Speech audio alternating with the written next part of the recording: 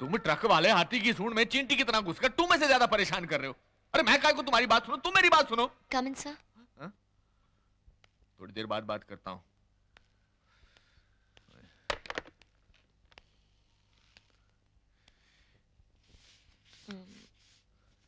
मैं अपना इस्तीफा देने आई थी। मैंने कल सॉरी कह दिया था फिर ये इस्तीफा किस लिए? क्योंकि आपकी होने वाली बहू आपके ऑफ़िस में कैसे काम कर सकती है?